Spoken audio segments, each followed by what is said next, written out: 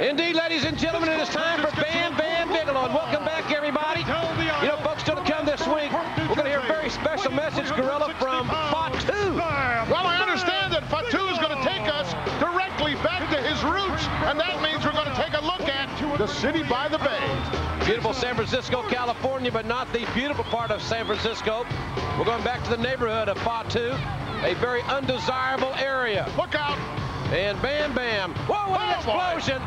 Indeed, Bam Bam Bigelow wants to set the hog farmer on fire. Henry Godwinn. Godwinn and Bam Bam have signed to go one-on-one in Nashville just about a week away. But I'll tell you something. I don't think Bam Bam cares which member of the Million Dollar Corporation he gets his hands on first. You know, he's so irate, Jim Ross. I understand that he signed a number of contracts to meet Tatanka in Indian strap matches. And hey, why do you want to go out there unless you're really bent out of shape and play another man's game? Well, he, he wants to get Tatanka the ring and any other member of the Million Dollar Corporation. And hard shoulder block there on Jason Ahrndt.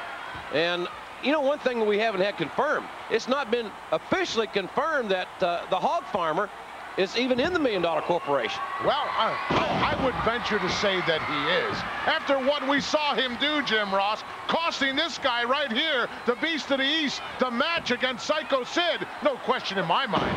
Hard slam by the Beast from the East. And wow. Jason Ahrndt quickly moving out of the way. Ahrndt now trying to mount some offense here on Bam Bam Bigelow, who tips the scales at close to 400 pounds. The toughest man, they say, ever to come out of Asbury Park, New Jersey, and that's saying something. Boy, no question about that. Look out, holy mackerel, here he comes. Oh, He just ran over Ahrndt. I got a feeling Ahrndt going to win this match right here. Bam Bam still checking that lower jaw. Maybe, maybe he'll have to see uh, Isaac. Hard kick there. Tremendous martial arts kick by a huge man that just uh, astonishes me with his great agility.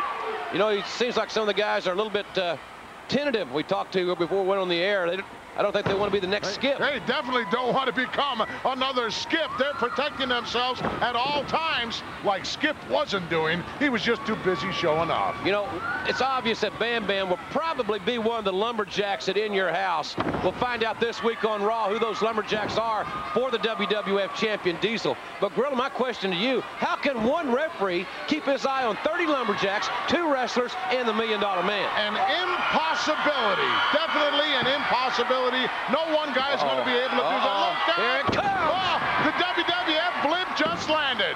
400 pounds right in the sternum. Bam Bam Bigelow with amazing display of agility. This is a great athlete. And whether it's Henry Godwinn at In Your House, Tatanka in those Indian strap matches, whatever it may be, Bam Bam Bigelow is looking forward to the competition to embarrass a million dollar man and get a little bit of revenge. He's going to set Nashville on fire. And so has Double J, who'll sing live. Here's another look at With My Baby Tonight.